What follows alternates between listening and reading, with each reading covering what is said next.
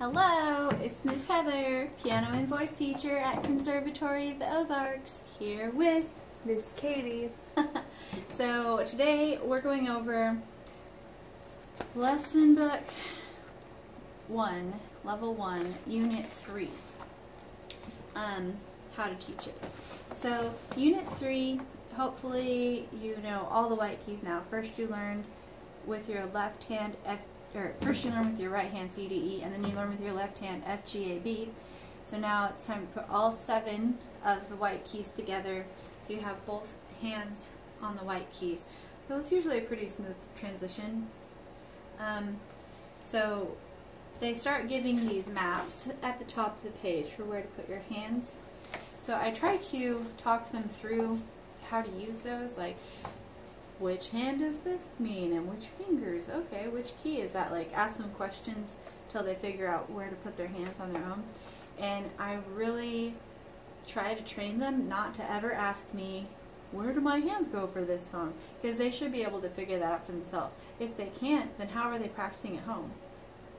Like what are they doing at home? If they don't know where to put their hands. They can't play the song if they don't know where to put their hands um, and this lesson, they also introduce the time signature for the first time. So up to this unit, I have them count one, one, one, two, or uh, one, two, three, four. I have them count the rhythm only. But once they get to here, I explain what a time signature is, that the top number tells you how many beats are in a measure, da da da da da. And so then I have them start counting one, two, three, four for every measure. And um, maybe have them write it in a few times on a few songs so that they can get used to counting out loud and to filling in the counts. And so they'll change the hand positions around like every song. That's on purpose. Um, I've seen some teachers go in and scribble and change it so that it's just one on C every time.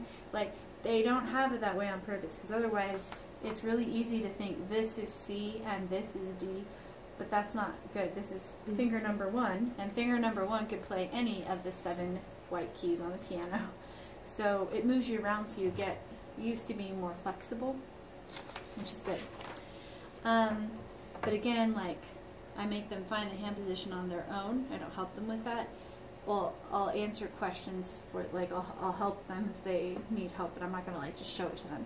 And so if it's hard, like, really hard to find the hand position, I'll have them, you know, find it and then make them take their hands off and then find it again and take their hands off. Make them put their hands over their head or like sit on their hands or whatever and then like find it several different times. And you can make it funny like that, like put your hands behind your back or like close your eyes and count to 10 and then have them find it again. If you make it into a game and they practice finding it a few times and it won't be such a torture to find it. Hopefully it's not that hard to find, but sometimes it is. And so the lessons book also has this knock knock joke song where you have to knock knock at the X's on the fall board of the piano. And then you have a quarter rest to get your hand back in place before you have to play another note. Um, they start leaving off some of the uh, letter names, and that's on purpose. Don't fill that in for them. Um, they've got to get used to playing the same one because you can see that's a repeated note.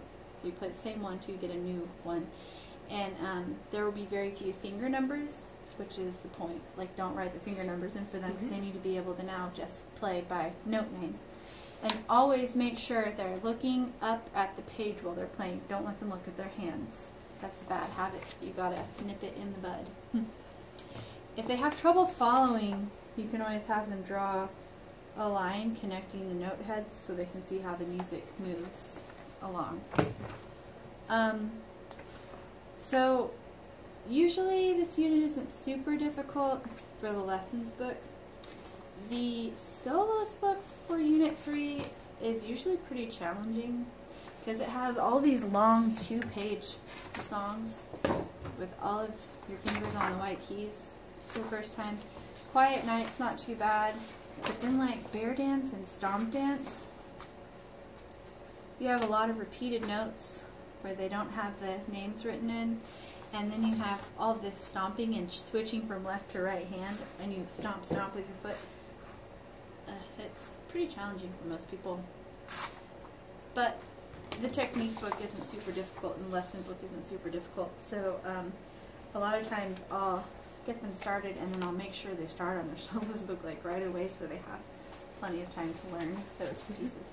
Do you have any questions about that? Um, I was wondering about the note speller pages, but I didn't know if that doesn't isn't. Yeah, we can talk about it now if you have a question about it. Or maybe that's unit four because it was bar lines. I didn't know. So, unit three starts on page 30 and it goes till page 35. So, in the note speller, Unless, or this is already unit two.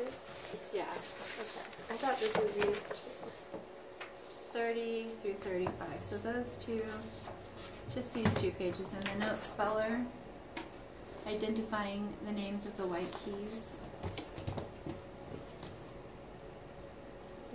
Did you have a question about them?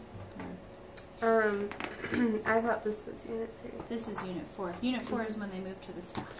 That's what I thought, and then I was like, oh, that makes sense now. Yep. I didn't really know what this was. Okay, good question. So this is in the theory book. So they give you the name of the note for this one, B, and then you can see it stepping down to A, and then it's stepping down again. Can you tell that it's stepping down? So then they need to say, okay, that's left hand finger two because the stem's pointed down. So B, A, what's the next one going to be? And hopefully they know that's going to be an F. And um, then you're supposed to write the F in the blank. And they give you the arrow here to tell you for sure. Repeat, step up or step down. And um, you can like remind them how, hopefully you've already talked about, but music can only move in three directions, up, down, or repeat. And these are the arrows, repeat, step up, step down. Say, so is this stepping up or stepping down or repeating? And hopefully they'll be like, that's repeating. And you'll be like, okay, so what's a repeat from C? C. So, does that make Mhm. sense? Anything else? I think that's it. All right. Well, Unit 3 is a big deal because hopefully you know all the white keys and then you get to learn the staff next. Yay!